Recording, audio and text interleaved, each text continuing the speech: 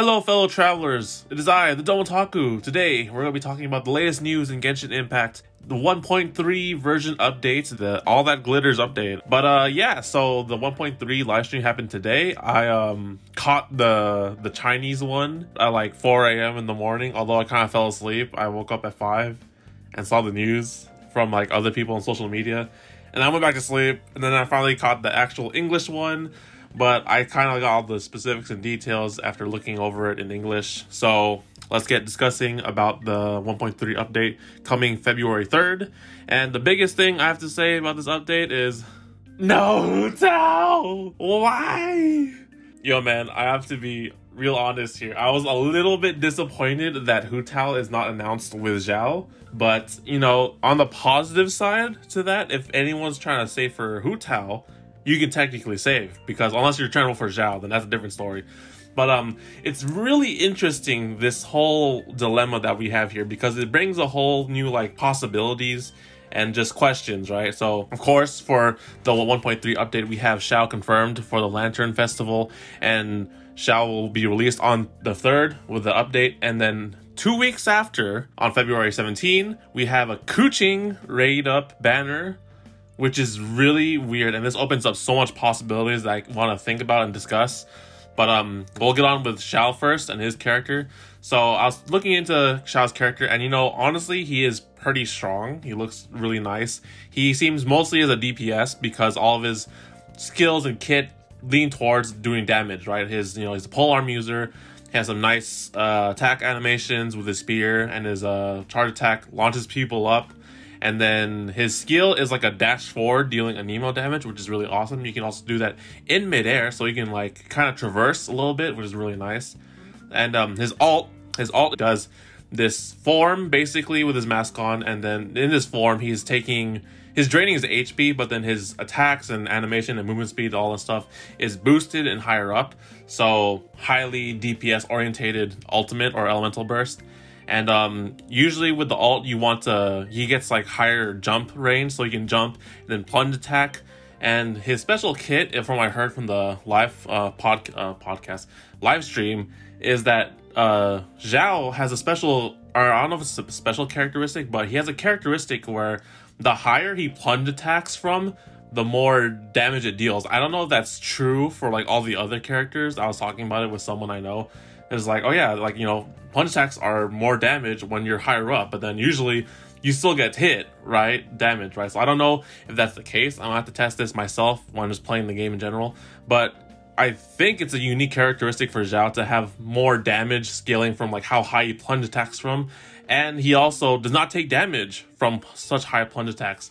In the live stream, they mentioned that you can jump off from the highest point of Mount Hulao and then plunge attack, and you won't take any damage, which is insane. It's really insane because I don't know of any character that has such a thing like that or if that's just a mechanic in general for the game. But with that, it combos really well with his alt, and with his alt, you really want to jump high, plunge attack, and just keep doing it, as uh, people have seen in beta test footage and stuff. So really nice, honestly. The only downside to his alt is the fact that does drain HP, so you do want to be keeping a healer, have the E, uh, what you call it, the NRE, available and stuff. Keeping his health up is kind of easy to do, and you can work around it. I don't know exactly the rate of how much health depletes and his attack gets boosted. We don't know the numbers of such things, but overall, I still see him as a really cool character that does a lot of damage. And if you're looking for an Anemo, then you know it's pretty cool because there's only like what two Anemo characters out so far with Sucrose and the MC. If you guys missed Venti, and Venti was like beginning of the game, so Xiao is a, honestly a good addition to the game. Can't wait to see what he does. And, you know, personally for me, I was supposed to be saving for Hu Tao, but, you know, who knows? We'll see what happens in these next um, three, four weeks of the 1.3. So after that, we have Keqing. And Keqing's appearance as a event limited banner is very questionable. It brings up a lot of speculation, right? So we have Keqing, who's a non-limited character, having a rate up in the character event wish, right? So it's kind of interesting as a fact because I don't know. Uh, it's kind. It's really weird because you know it's like okay for one this brings about the possibilities of all the other non-limited five star characters getting up banners in the future. So Qiqi, Mona, Diluc, Jean, all of them have like potential to be rated up in the future from now on. That is confirmed through Keqing getting a rate up, being the first. And with that, you know, it's I believe they I don't remember what they said exactly, but for I believe they said that she's going to be, you know, in the character event wish, right? So she's not part of the, you know, separate banner or anything like that, but she's going to be the rated up character for the character event wish. And so let's say you try to roll for her, right? And if you get Keqing, I'm assuming that that's the char- the you know the actual guaranteed character, right? And then the next one you get uh you five stars you get after was 50-50. But it's like I'm thinking about Keqing's banner, and honestly, it's really good for anyone who really wants to try to go for Keqing. That's totally fine. And um, you know, if you want to get go for Keqing and save her, then that's totally fine as well. I have already, so you know, no need to roll for constellations because free to play or not free to play, dolphin as much as I can. But um, you know, assuming you roll for Keqing, right? You get Keqing and then your next one's a 50-50 kind of thing. But then like for people that have Keqing, it's kind of awkward because like it's basically saying you do you want to roll for this limited character on the left, Xiao, or do you want to roll for this character that you can get spooked by in the future, like Keqing, right? And I understand that people may not have Keqing and they want to roll for Keqing, that's totally fine. But that's how I see it as someone who owns Keqing already is like if I had to roll for someone in these two, like I would definitely roll for Xiao because you know he's limited. So after his two weeks of rate up, he's gone until he gets rerun eventually. But Keqing can always spook you every single 90 rolls and pity and stuff in the standard banner and the character event wish banner. So there's not too much of a what you call it, too much of a necessity to roll for Keqing, right? That's kind of how I see it. But then like I said, if you totally want to roll for Keqing, then that's totally great because she's a strong character and I highly suggest rolling for her. If you choose her over Xiao, then that's totally fine. But um, it's just an interesting case seeing uh, Keqing being rated up. That makes me question how further or you know newer updates will happen, like 1.4 and 5, where supposedly we were supposed to get Hu Tao this one, but now supposedly hypotheticals, right? 1.4 will have Hu Tao, and then if they don't have a new character with 1.4 with Hu Tao, then they will have someone else like Keqing to replace her. So then, you know, Qiqi. Is there any other Liyue uh, five star characters? Diluc, Mona, Jean. No, that's basically it. Yeah, so it's one of those four. So if there was a Mona up banner then you're damn straight as hell. I'm gonna roll for that shit because she's the last missing character I need in my my lineup of the, the unlimited people, and I could be finally like, hey Muna, you know. So that'll be interesting to see how the new banners come up. You know, I kind of asked for this back in the day when I didn't have Jean and stuff. Was like I want banners, rate ups for the non-limited people because please, you know, stop giving me Diluc spooks. And now they finally do it, and I'm just like, ah, it's Keqing first. Ah, whatever, it's fine. But you know, interesting choice. You know, this uh, shows potential for the future updates of Genshin Impact, so that's pretty cool. And um, the next big thing to talk about with these two is that these banners are up for 14 days, right? At least from Xiao to Keqing. Xiao's February 3rd, and then Keqing is February 17. So that means his banner is up for two weeks. But usually the standard for banners are that characters are up for three weeks around. So this could implicate that maybe after, so two weeks for Xiao, two weeks for Keqing, and then, you know, once the second week of Keqing things end, we get 1.4 immediately, which is really faster than usual from, if we think about it, because of each character is three weeks normally, and then the next update would be like six weeks, but then this one's four weeks, so it's doable, it's possible that we might get a faster update to 1.4 real soon. We'll see. Although this 1.3 update may seem small because it's all focused on Liyue and the Lantern Festival. It still has a lot of good events and stuff to do. So we'll talk on the next thing to discuss about um this, event, the update, the actual Lantern Night Festival. So the Lantern Night Festival has four different um, what do you call it parts to it. So here's the first one I'm seeing here: all that glitters, the Lantern Rite Tales, the theater mechanics, and the Xiao Market. So a lot of stuff to do in here, and we'll get into detail to these things as much as possible that I know of, in fact. Next thing we know, there is a campaign where every single player can choose a four-star character of their choice, anyone from Liyue. So here's the roster. We've got Xiangling, Xinyan, Beidou, Ningguang, Xingqiu, and Chongyun. I hope I did not butcher those names. I'm sorry for my pronunciation, but this is honestly really nice. Like, you know, I was wondering like when the next given character would be. They've given us Barbas, they've given us Xianglings, they've given us Fischls, and like, you know, it's cool that they're doing this. And this one is honestly like so damn nice for me and for probably a lot of people because rate ups, right? So I don't know exactly the requirements to be able to claim this, but by doing the event, by the end, you'll be able to claim one of these characters for yourself. And um, this is honestly really nice for people who don't have these characters, or if you're trying to hit a certain constellation for someone.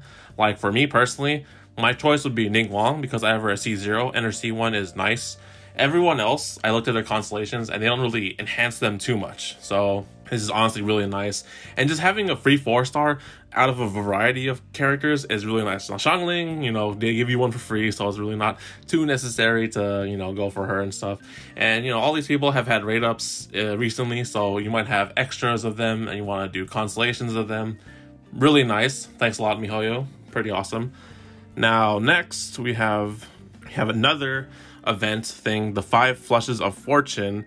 Um, I don't know if this is a different event or it's part of the Lantern Rite Festival, but essentially, from what I'm getting at through this event, you basically talk to this person, they give you a new version of the camera or something like that, and then you have to take pictures with it.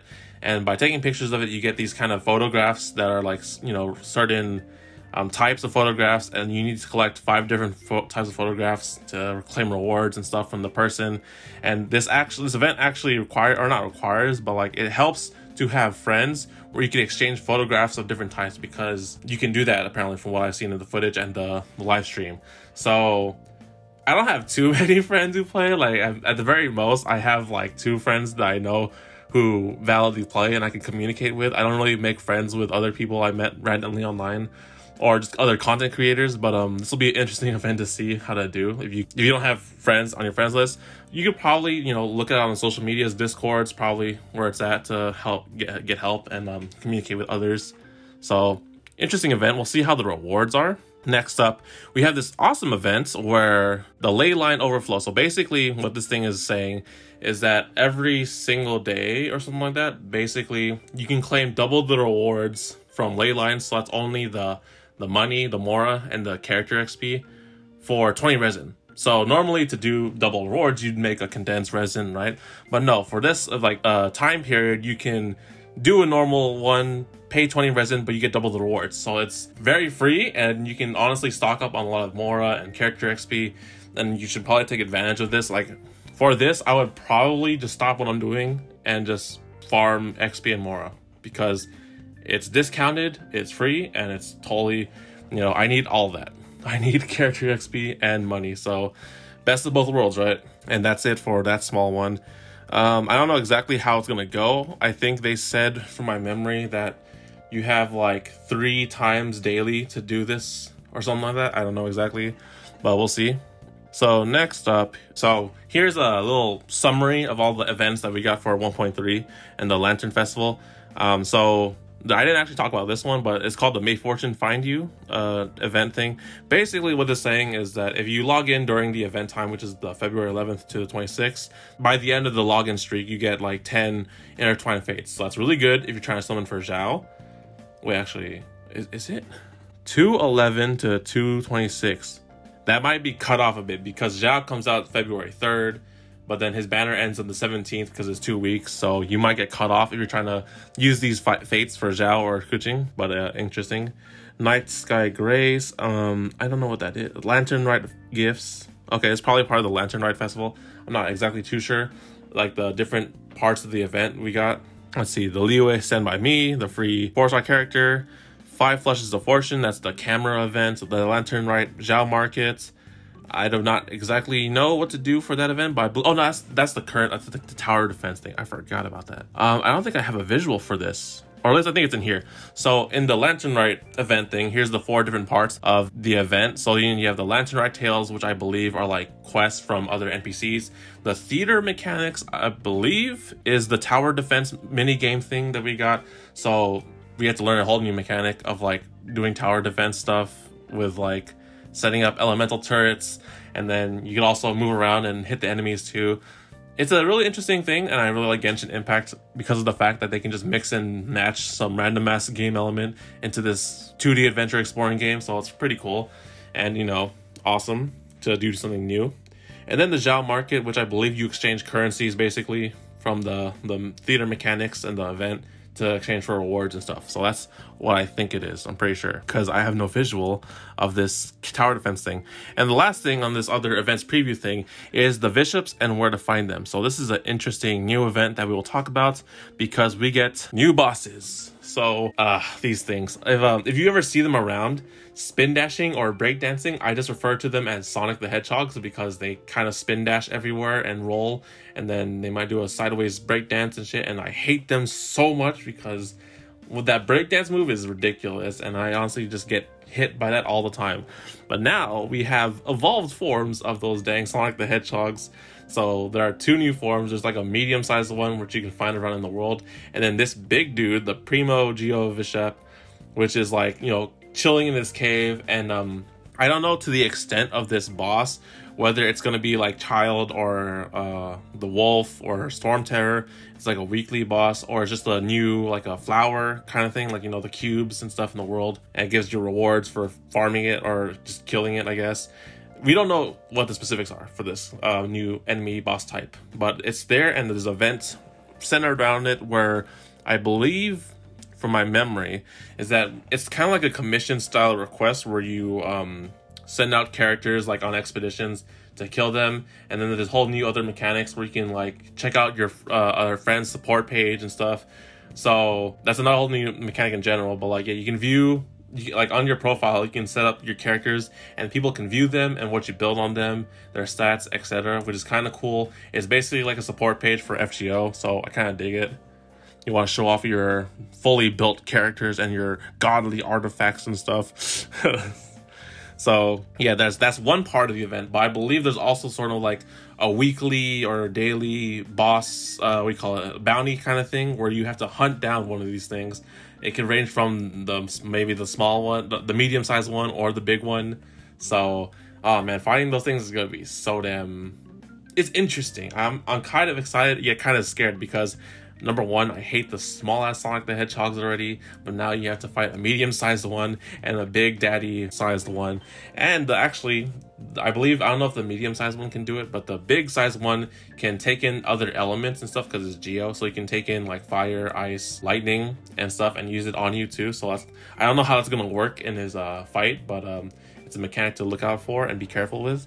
And um, overall, that's it for the 1.3 updates from my memory. Yeah, I think that's it.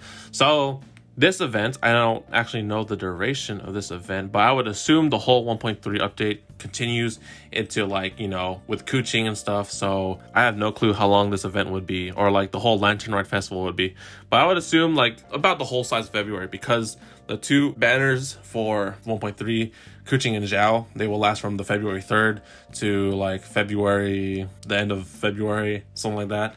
So yeah, this update, you know, I had very high expectations for this update, mostly with Hu Tao, you know, and probably a lot of people did. But um, you know, overall, we're still getting a lot of stuff to do. And honestly, as someone who wants to roll for Hu Tao only and not Xiao, this is honestly screaming primo gems and fates and materials for me to save. And then 1.4, I can finally roll for Hu Tao. Hopefully, she's announced for that. But uh, yeah, you know, if you're rolling for Xiao, then this is pretty exciting too. You get to use him in this event, and um, anyone trying to look for finally getting themselves a Keqing, I know a few people who really want Keqing and stuff. This is awesome, and um, yeah, honestly, you know, the game might be kind of like slowing down just a bit. Like we did just do the the hypostasis event thing, and it's just finished to be honest, and like honestly for me right now there's not too much in the game going on right now but this honestly excites me a lot. I can't i really can't wait to see and actually participate in this event and do all the cool things in here and stuff. And also i need to mention that Xiao does have a character story uh, event thing in the in this event lantern rite thing. And um, you want to do it during the festival? Because if you do it after the festival ends, then you actually have to use a key and you have to be a higher adventure rank. I think they said that his adventure rank is going to be 32 uh, if you do it after the Lantern Festival, and you need to use those commission keys and stuff. But you know, I have like three of those, so it's totally fine. But you know, it's just free to do it while the event's happening, so you get some character development with him and stuff while the lantern thing is going on. And that is about it for all the 1.3 news that I saw. Oh, I mean, I keep forgetting this, but it doesn't really apply to me. But it applies to all you Zhongli players. Zhongli is getting some buffs in 1.3, and unfortunately, if you do not roll for him, then um, he's not here for now until he gets rerun. But uh, I don't have Zhongli, so this kind of didn't apply to me. It does apply to Brotaku though. Brotaku was able to get Zhongli, and he gets some free buffs in there, so that's pretty cool for him. So that is it for 1.3 as far as my memory serves and stuff in the game and stuff. I mean, they did release some soundtrack things, and that's awesome. I can't wait. I really like the soundtrack for the the game and the the trailers and stuff. But yeah, 1.3 is coming out. So what's today? 22nd. So we got about a week and a half, about two weeks for the next updates. So that's pretty exciting. Um, roll for Ganyu if you're still trying for Ganyu while the time lasts. And um, let me know how you guys feel about this 1.3 update. Are you guys upset that Hu Tao's not here? Are you upset that it's like Keqing on Rate Up, like a new character and a repeat character? What are your thoughts on the Lantern Rite Festival? Who you guys are gonna pick for your free four star Liyue character? That'll be cool to know. And um, why are you getting them? And that's it. Yeah. So until 1.3 guys we'll see what happens with this uh, event thank you all for listening or watching i hope you enjoyed leave a like if you enjoyed subscribe if you want to see more videos in genshin impact fgo anime the works and i'll see you all in the next video see you next time take care fellow travelers Show me what you got, you assassin, you. Do I have a catalyst, you? Where are you? Consort, you? I don't know what I'm saying. You? A saber, that's not you. Last ticket, show up, you assassin, servant, spin. You all the gold, assassin, you? Yes!